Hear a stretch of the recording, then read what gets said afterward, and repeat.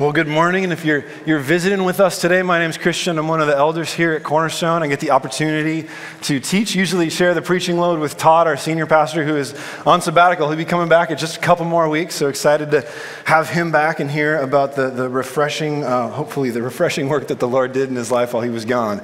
But we're going through the book of Matthew.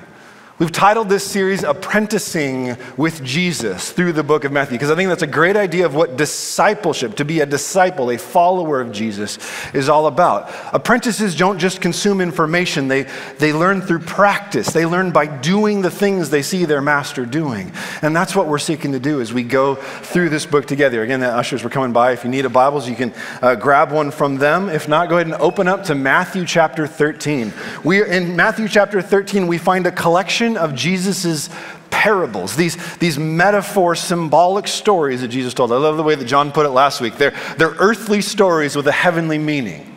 Last week, John took us through the parable of the sower, this, this story of a sower who throws seeds on different kind of soil. And Jesus told this parable and he explained it to his disciples to illustrate the different responses that people were having to his message, that the kingdom of God had arrived with him. Some were just kind of on the fence, didn't do anything with it. Some like they received it with joy at first and petered out or, or, or withered and died along the way. Others rejected him outright and actually are seeking to destroy him, but others were that good fruit that Jesus talked about. We also talked about the way that in this point in Jesus' ministry, as he shifts from more open teaching to these more like veiled, obscure parables, he does it for a number of really important reasons. We've looked at this over the last couple of weeks. This idea that Jesus shifts to parables, on the one hand, to obscure the truth from the crowds, the people who've been hearing his message and failing to respond. He says, Now I'm going to speak to them in parables because their hearts have grown dull, and though they hear, they don't hear. Though they see, they don't see. They don't understand. And so they are only going to get parables.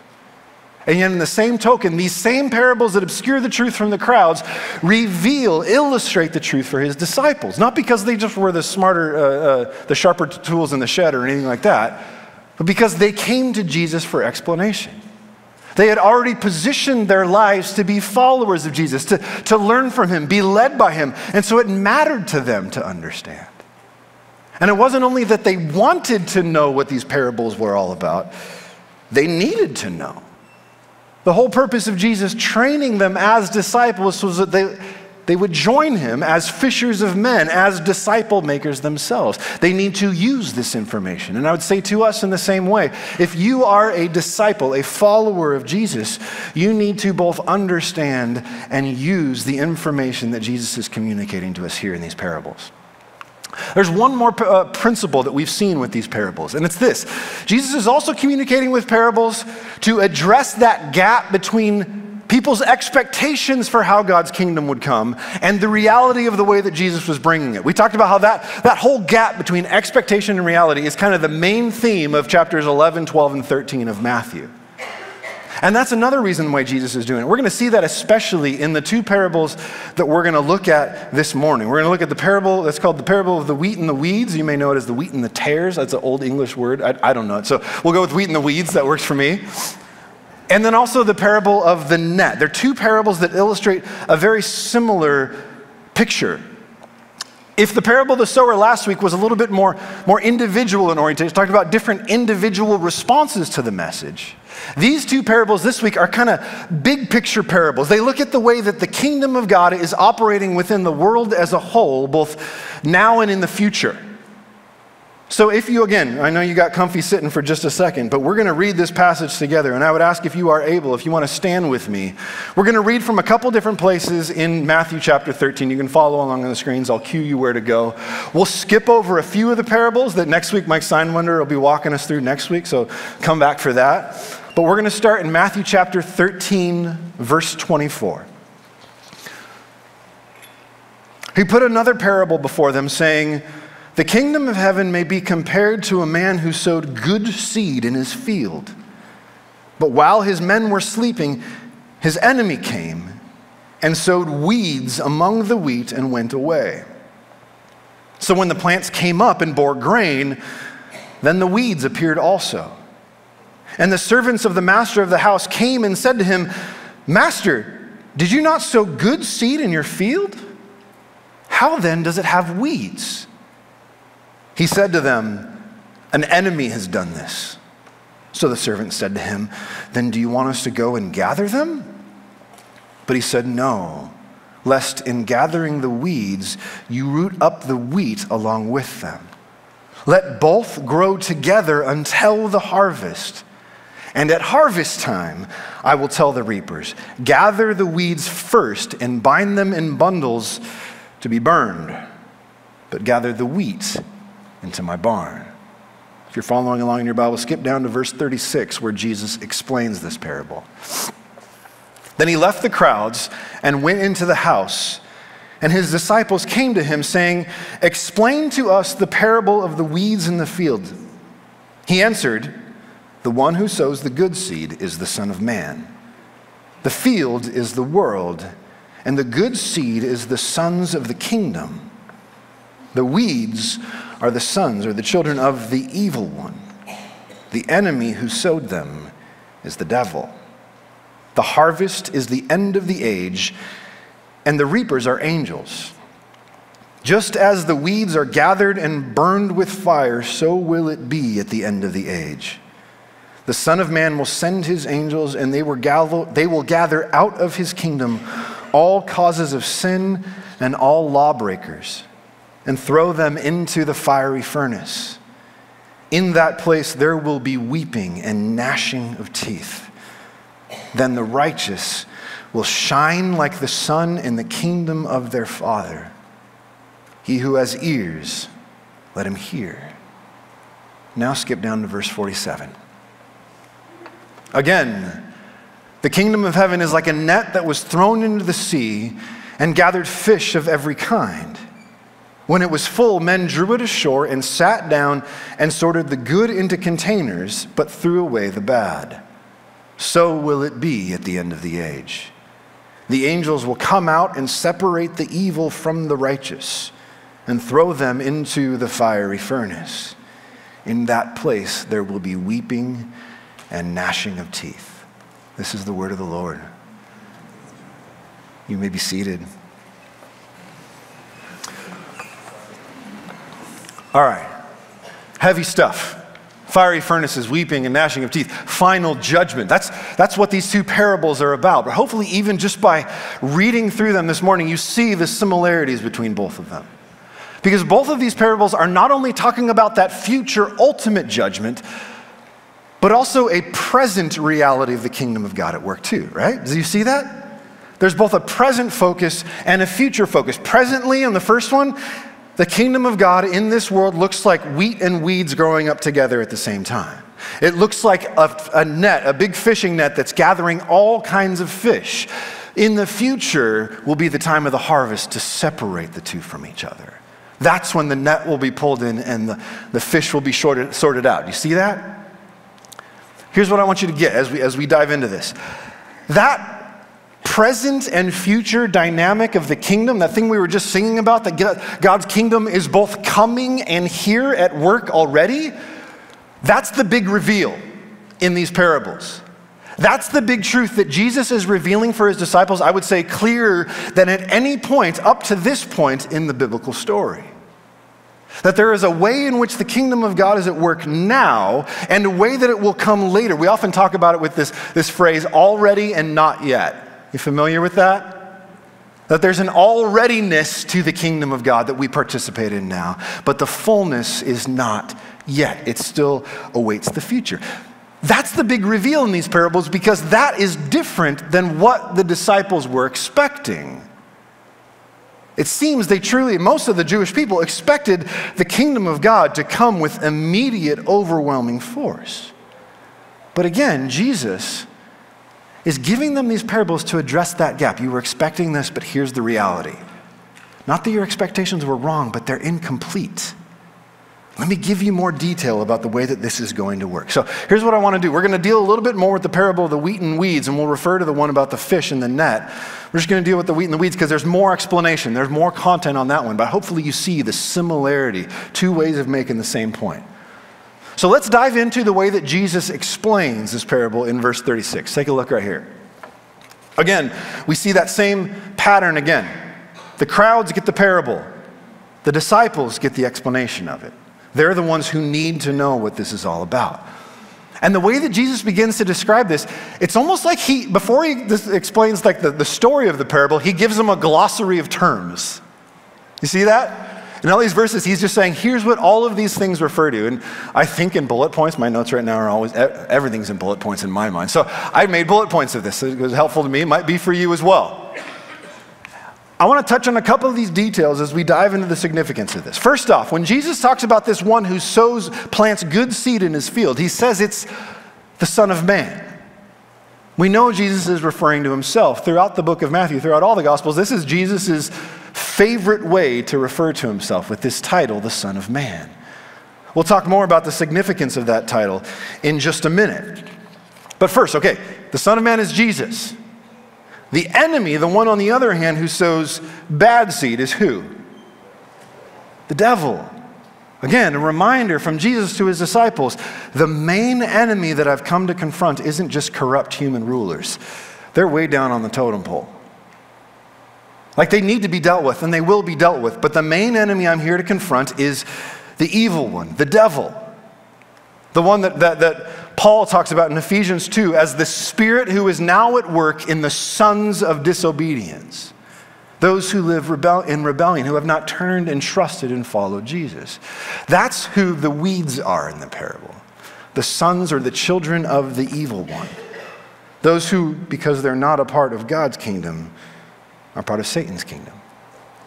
Now, here's the interesting thing about these weeds. Every commentator that I looked at as I was studying for this, they mentioned this same type of weed called, called darnel, that most likely is what Jesus had in mind. Because when darnel first starts to grow, it looks identical to wheat sprouts.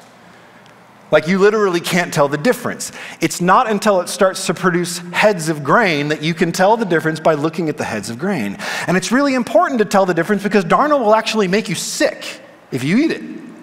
This matters. This isn't just, ew, that's gross stuff, get it out of here. No, it's like one is good and pleasant, one is harmful to people. But you can't tell the difference until the heads of grain develop. Did you see that in the parable, right?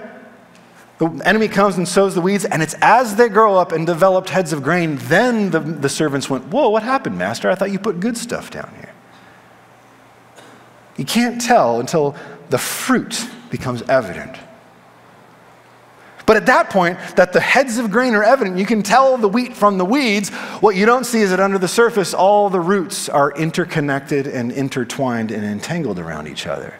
So when the servants say to the master, Do you want us to just go pull up the weeds? He says, Don't do that because you'll end up unrooting the wheat right along with it. Here's the best thing to do let them both grow up together until the harvest, and then we'll sort it out.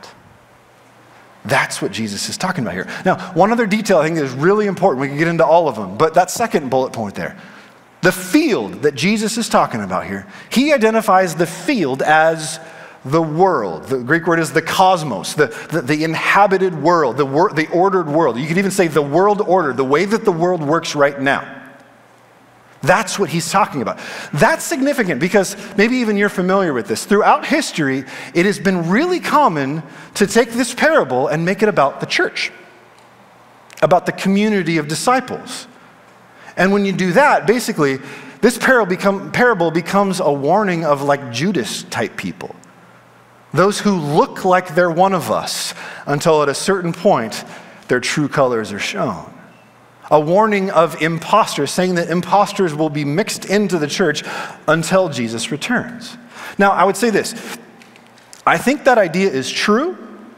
I just don't think it's what this parable is about. There are many other places in the book of Matthew that do hit on this idea of imposters within the community of Jesus followers. Like, remember back when we were in the Sermon on the Mount in Matthew chapter 7, one of the things that Jesus says in Matthew chapter 7, he says, Beware of false prophets who come into you like wolves in sheep's clothing. They look like you on the outside, but they are very different on the inside. And he says, by their fruit, the outcome of their lives, you'll, you'll be able to tell the difference.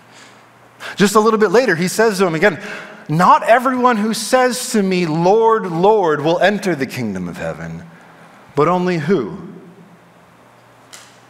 Those who do the will of my Father who is in heaven. So Jesus is clearly calling us as followers of Jesus not to be judgmental like fruit inspectors who are all about just trying to determine who's in and who's out, but to beware that there may be those who think they're part of this or want us to think that they're part of this and really aren't. Later on in Matthew chapter 18, Jesus is going to give some extended instructions of how we as a church family are meant to operate when there is one among us who is unwilling to turn from a clear pattern of sin in their life, even to that point of separating ourselves from them. Those passages, Matthew 7, 18, are clearly about what does it look like to have purity and authenticity within the church. But here in Matthew 13, the parable of the wheat and the weeds, this is about the world. This is about the way that the kingdom of God is at work within the world as a whole. And Jesus says it's going to look like a mixture of wheat and weeds until the harvest when I'll sort it out. Again, this is new information for the disciples, but Jesus links it with old information that they've had for several generations. Look at the very next uh, part of it. What verse? Verse 40. Again, we, we, I read through this just a second ago, so I won't read it again. But as Jesus talks about the way the harvest is going to play out, pay attention to those words up there that I highlighted, because they're really significant. Each one of these words factors significantly in the Old Testament prophetic book of Daniel. Did you know that? I think Jesus is doing that on purpose. He is linking what he's teaching the disciples through this parable here with the vision of the kingdom of God that, that was there in Daniel. He's not correcting errors in what Daniel saw, but what he's doing is said, hey, what Daniel saw from afar, now that we're here, let me zoom in and show you the detail of the way this is going to work out. But again, maybe this sounds familiar to you. Again, if you're, I would encourage you, if you, uh, as you study the Bible over this next week, as you do your own personal reading, if you're not familiar with some of these passages in Daniel, I would say jot it down, make a note if you take notes, and go back and read some of these. That phrase, Son of Man, the whole reason why Jesus uses this as his favorite title for himself is because of the way that Daniel uses it in Daniel chapter 7, which we'll look at in just a moment.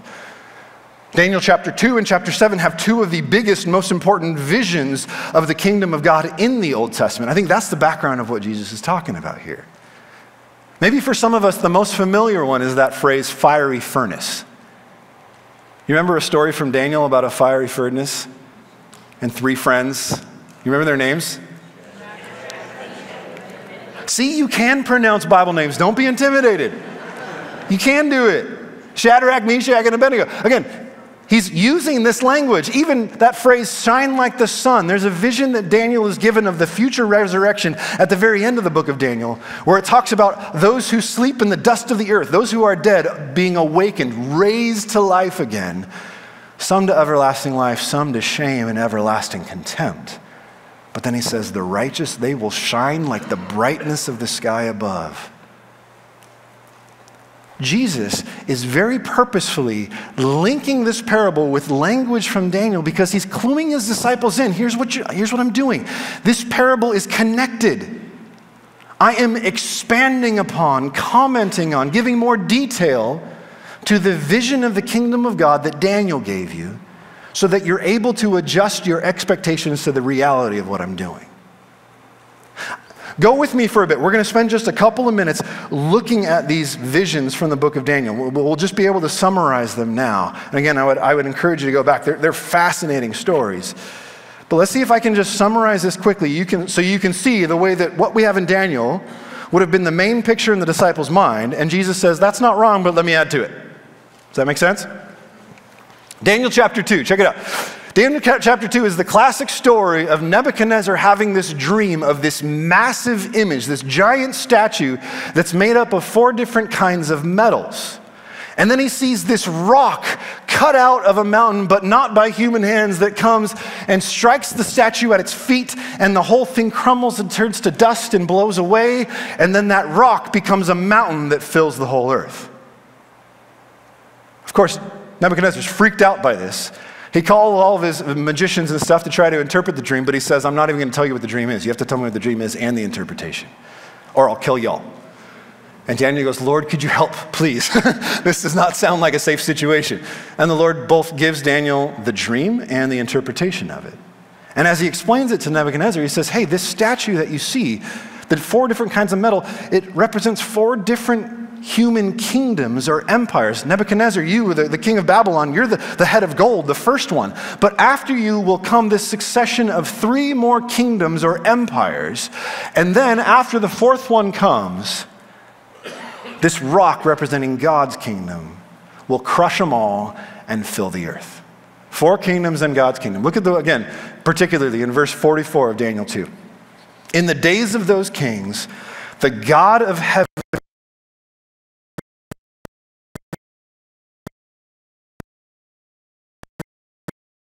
pieces all these kingdoms and bring them to an end, and it shall stand forever. This is about 600 BC at this time, 600 years before the time of Jesus. This is that initial vision given four kingdoms, then God's kingdom. About 50 years later, in Daniel chapter 7, Daniel himself receives a vision.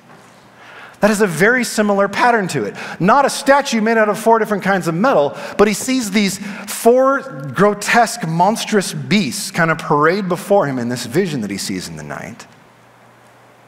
And again, he's told in the explanation each of these beasts represents a different twisted, corrupted human kingdom empire that will come through the scene.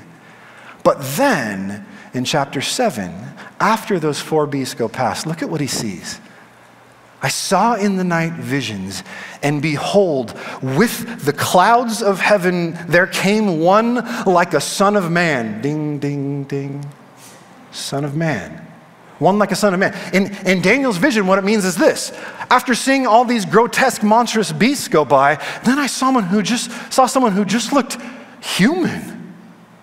He looked like a human man, and then he was brought before the Ancient of Days, God Himself, and was presented before God, and to him was given dominion and glory and a kingdom that all peoples and nations and languages should serve him. His dominion is an everlasting dominion which shall not pass away. His kingdom is one that shall not be destroyed. Again, four kingdoms, then God's kingdom, and in particular, the, the level of detail that Daniel 7 adds is that kingdom, the eternal kingdom of God, is entrusted to one man to rule it. But then, as the vision is explained to Daniel just a couple verses later, check out this. Again, the four beasts are four kings that will arise out of the earth. But then the saints of the Most High shall receive the kingdom and possess it forever and ever. In the vision, it's one man brought before God to receive the kingdom. But in the way that it's going to play out, it's not just that one man, but the people of God who are going to join in that rule. Does that make sense? So again, you look at these two images, which Jesus, these visions, which Jesus is linking his parable to, and here's the big picture expectation for God's kingdom that the people of Israel would have had in the first century. There's going to be these four temporary, corrupt human kingdoms, but then God's eternal kingdom is going to come into play.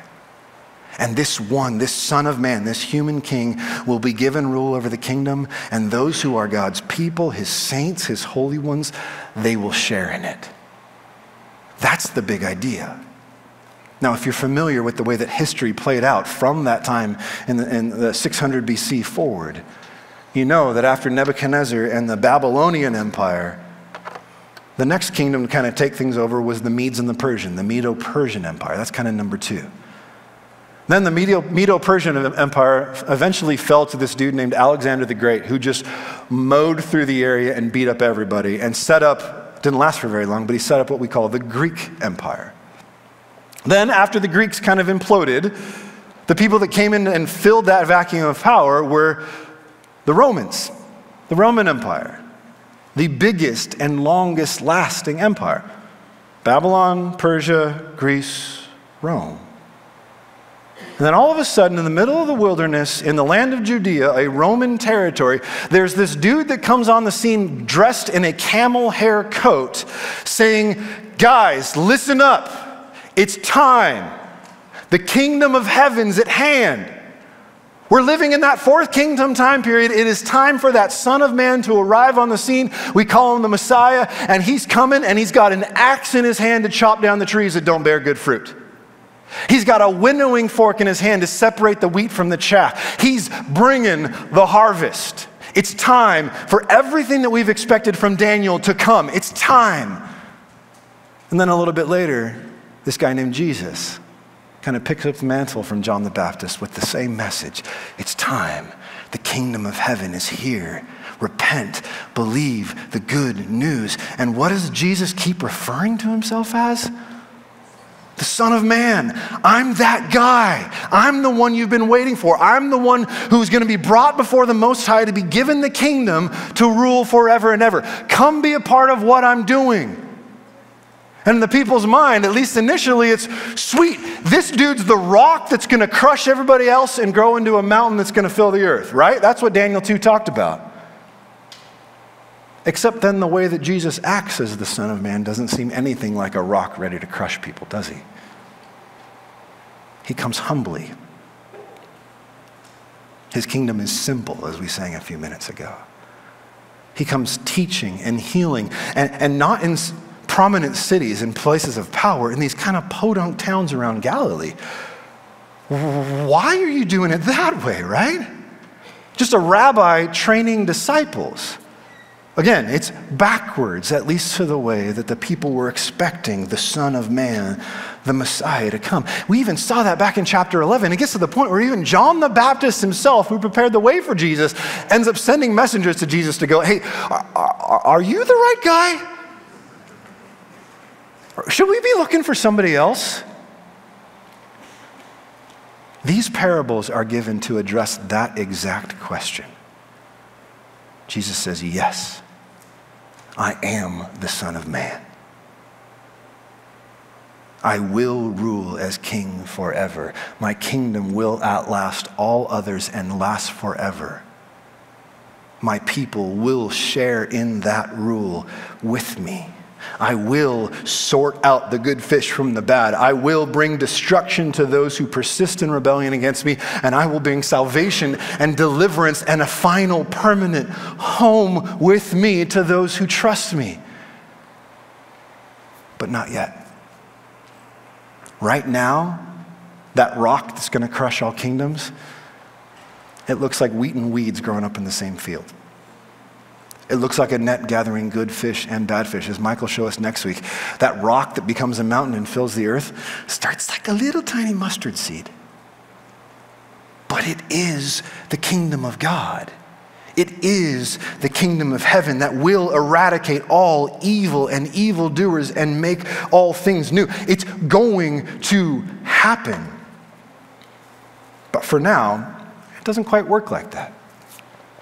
I guess you could say this uh, I was going to make a prettier version of this and I ran out of time. I apologize. I basically just scanned this from a book.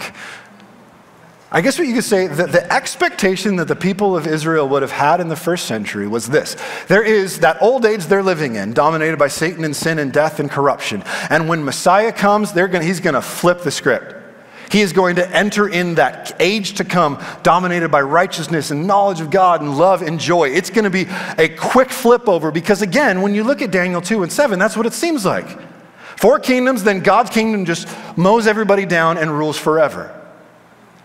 But what Jesus goes on to explain to his disciples is that no, actually, there's an overlap. The kingdom of God looks like the MasterCard logo, if you will, a Venn diagram there's an overlap in the middle. The kingdom of God really is here at work already, but not yet in its fullness. And in that in between time, in that overlap of the ages, the children of the kingdom and the children of the evil one are intermixed and intertwined. And Jesus, as the master says, that's the best way for this to play out. Not only so that way the good stuff isn't uprooted with the bad, but because I have a mission for that good seed to do while they wait for the fullness of the kingdom to come. I have good work for them to do.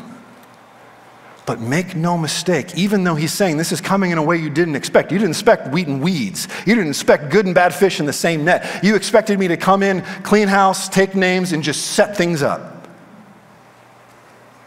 But don't worry, that harvest, that end of the age, that final judgment, it is coming. That's why both of these parables emphasize that. Just as the weeds are gathered and burned with fire, so will it be at the end of the age, when it is time for that full transition from the old age to the age to come. Those who continue in their rebellion against God. I, love, cat, check out those two phrases I put in bold.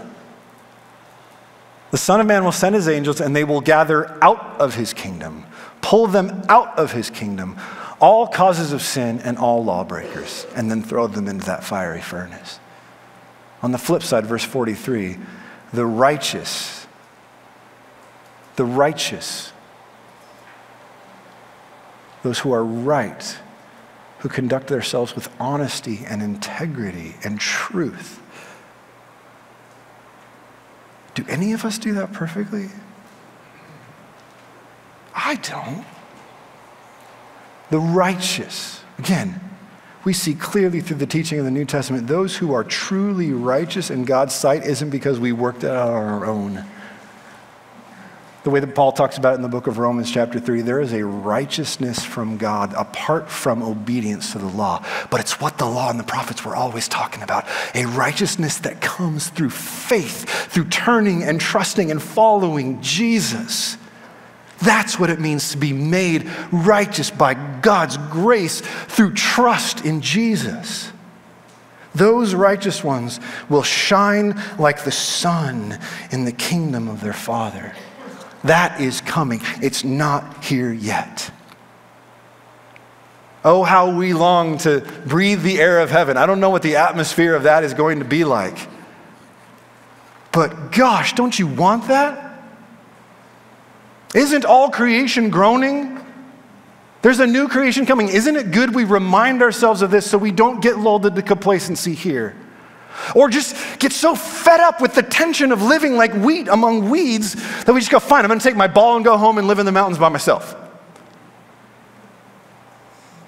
We are called to wait patiently and to work faithfully in this in between. Here's what I want to do in our last few minutes to go, uh, together. I just want to talk through some, some points of application, okay? Because again, this, these parables were novel concepts. This really was paradigm shifting information for the disciples. Wait, there's this overlap, there's an already not yetness to the kingdom of God. We got to wrap our minds around that. Maybe for some of us, that's not quite as new of a concept, uh, partly, in fact, because we have had this parable in our Bibles for the last 2,000 years. But I think if we're honest, the reality is we all need the words of Jesus here to recalibrate our expectations for life. Both our expectations for what the future will be like and what our present lives should be like. And that's what I want to think through with you guys for the last few minutes. Do you remember earlier this year, again, when we were in the Sermon on the Mount? We spent about four months teaching through the Sermon on the Mount in chapters 5, 6, and 7. And we kept coming back to this idea that the main point of Jesus' teaching in the Sermon on the Mount was to teach his disciples what it means to live as citizens of God's kingdom among the kingdoms of this world. In John 17, he actually prays to the Father in our behalf and he says, Father, they're not part of this world any more than I am. Not like we're aliens from another planet, but like they're not part of this world system. They're part of the world to come. That's their true home. But I'm not praying that you would take them out of the world. I'm praying that you would protect them from the evil one because they have work to do in this world.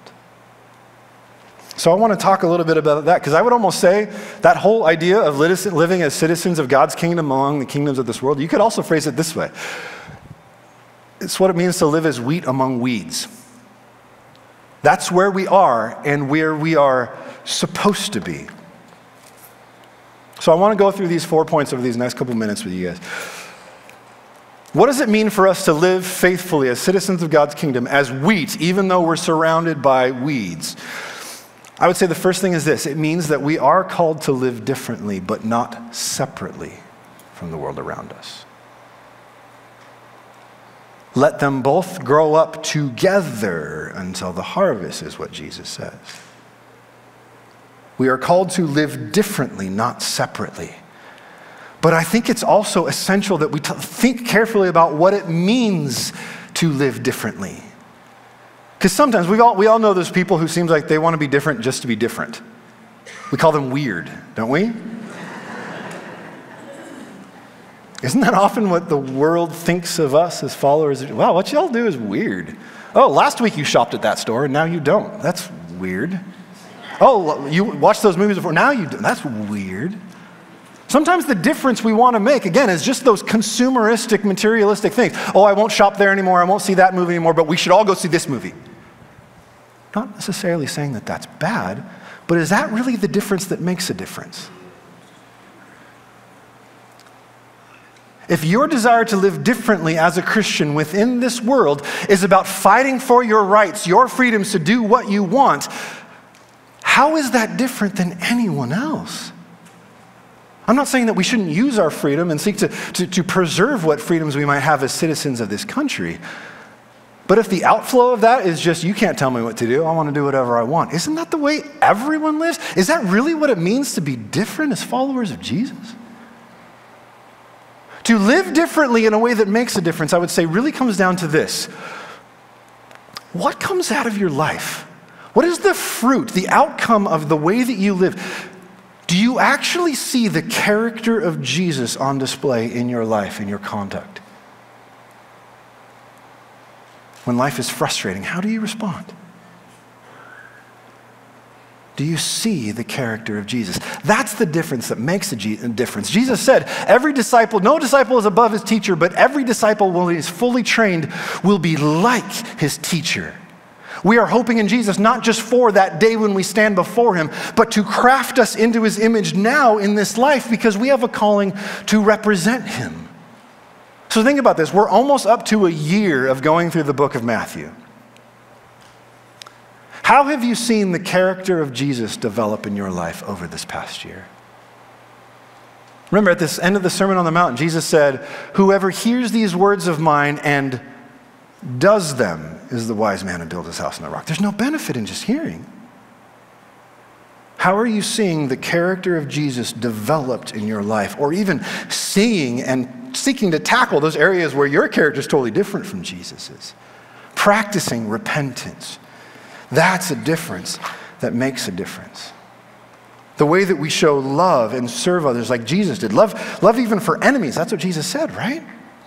A few weeks back, if you missed it when Jose Luis was preaching, and he spent the entire time just looking at that phrase in Luke where Jesus says, Be merciful as my heavenly Father is merciful. Mercy, that's a difference that makes a difference. Authenticity, not hypocrisy. Guys, listen. If we, as a community of disciples, are known more for the way that we condemn certain people for their sin, but then like harbor and coddle our own, you know what Jesus called that? He called that being a whitewashed tomb. That's not going to help anybody. But if, on the other hand, we go, okay, fine, then let's just condone sin. You can do whatever you want. I'll just accept you however you are. That also doesn't put Jesus on display. Jesus didn't do that. He didn't condone or shuck and jive with sin or say you have forgiveness, but you don't have to follow me. You know, he said, repent, come to me. He came like a doctor for the sick, not to leave people in their sickness, but to nurse them to health. Is that what we're seeking to do with our lives? The ultimate difference between the wheat and the weeds becomes evident over time. Do you see the character of Jesus coming out in your conduct? So that's the first one. Live differently, but not separately.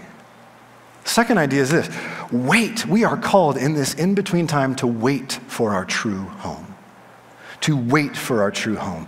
To live like wheat in the midst of weeds is going to be uncomfortable.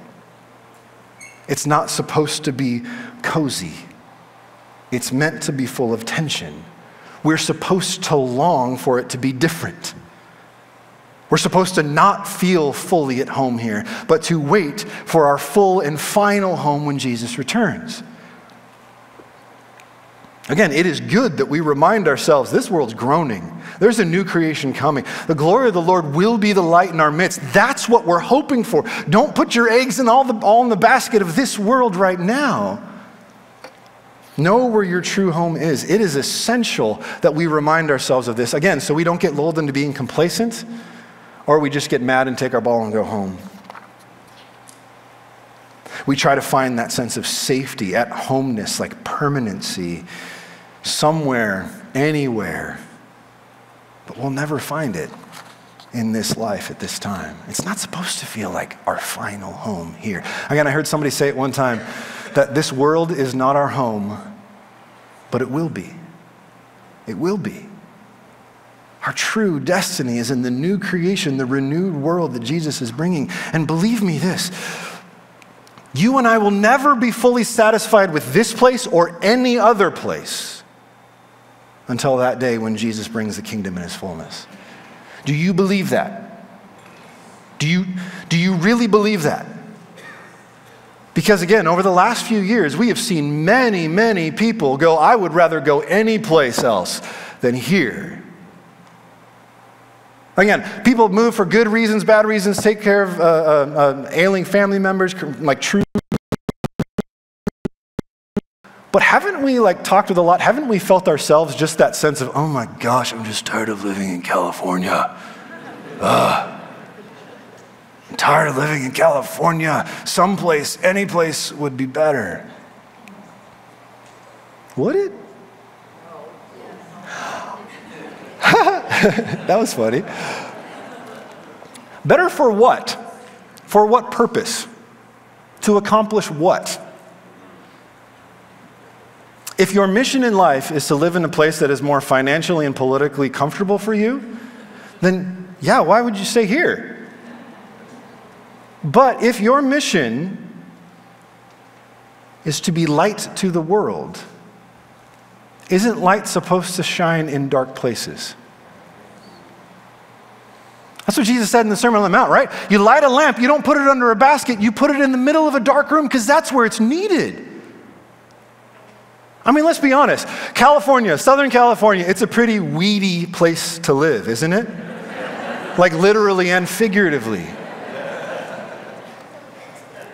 But I would say, again, you're hearing from me, an elder, a shepherd here at Cornerstone. I feel like this is the place where God has called me to. I believe it's the place that God's called you to unless He makes it clear He's calling you somewhere else. When we see the discomfort, when we see evil, when we see just straight foolishness in the world around us, it ought to make us comfortable, but not motivate us to leave and go find some property out in the middle of nowhere where 10 generations of our family can we can all live together and only interact with people when we want to. Let them both grow up together until the harvest. We are meant to live like wheat among weeds. We are meant to live like light in the darkness. And as things in California get only darker and darker, most likely, all the more reason for us to be here. Not to get what we want out of life, but to embrace that tension, to represent Jesus, to put him on display here. Does it mean we have to like the way things are going? No. Agree with it? No, we can't. That would be the place, case any place you go. Will we be tempted to complain and grumble and do so via social media and like everybody else's comments that's grumbling and complaining about people on social media? Does that do anyone any good? You know, actually, one of the most important ways that we can shine light in dark places is actually by not complaining and grumbling. Listen to what Paul says in Philippians 2. Oh, where'd it go? It's gone. I will read it to you instead. Here it is Philippians 2, verses 14 through 16. Do all things without grumbling or disputing, that you may be blameless and innocent children of God without blemish in the midst of a crooked and twisted generation, among whom you shine as lights in the world. We live within a crooked and twisted generation, but the way we show light is by the way we don't give in to the temptation to grumble and complain about everything that we could. But instead, the way he says it there in verse 16, we hold fast to the word of life so that in the day of Christ, when he returns to make all things new, it will be revealed we didn't do this thing in vain. It wasn't empty. It wasn't just something we did to fill a Sunday morning and just went about our life after that. I believe that this passage is calling us to embrace our calling to be light here to be wheat among this weedy soil. Let's not grumble and complain. Let's entrust ourselves to our master who says this is exactly the kind of place that we should be in order to represent him well. And then let's actually make our lives about representing him. Let's actually make our lives about not Jesus as a little add on to our plans, but positioning ourselves to learn from Jesus, to be led by him, to become like him, to help others do the same. Let's be serious about discipleship. You cannot be faithful to Jesus and abandon his mission to live like wheat among weeds. Let's embrace it, y'all. Let's also hold out the hope that our master is still the one who can change even the hardest soil. He can change even the weediest weed to be healthy, wholesome wheat. He can do it. He can change hearts. Amen? If you're a follower of Jesus, you know it because He did it with you. You weren't born into this. God opened your eyes, He gave you ears to hear and eyes to see. So I would say this to you if you're here and you're not yet a follower of Jesus, listen, hear, see, turn, and trust, and follow Jesus. Bend your knee to the King. Again, this passage, like we've seen throughout the book of Matthew, confronts us with two really unpopular realities. There's only two paths. We don't like that. We don't like being stuck with two options. But Jesus says there is this broad, easy way you could take that, but it leads to destruction. I don't want you to go that way. There's this narrow path. It's hard, it's difficult, but it leads to life. In the end, there's only two kingdoms you can be a part of. You are either a child of the kingdom of God or you're a child of the evil one. Right now, the distinction between that is murky and confusing, but one day it will be clear. The harvest will come, Jesus will separate. The determining factor is what you do in response to this message today. So if you would like to pray with someone or talk about what it means to follow Jesus, there'll be some of us over here in the prayer room that would love to pray with you. We're going to sing one last song together called Cornerstone that says, when Jesus comes with trumpet sound, I want to be found in him, not with dressed in my own righteousness, but his. I want to be one. He comes back and goes, You're one of mine. Come into the barn. Come home, fully, finally home. We won't be content until then, but we have work to do. Amen? Let's pray. Father in heaven, Thank you for your word. It challenges us to our core, and it should. Holy Spirit, you have begun a new work in us. You have stirred something in us that shows us this world isn't our home. The way that things are right now isn't where we find our identity and our place of belonging. Lord, would you forgive us for the times when we entertain the notion that any place would be better, any situation, any marriage, any job would be better than where we are? Would you instead give us those eyes to see that in each situation there is the opportunity to put you on display in hard places? You came as light to the world to go to the dark places. You're calling us to join you and do the same. At the same time, Lord Jesus, come quickly. We want to be home. We want to be at rest with you. But we know you're not done gathering people to your name. You're not done changing weeds into wheat. Would you use us here in this place, come what may, for your glory until you return? We ask this in your name, Lord Jesus. Amen.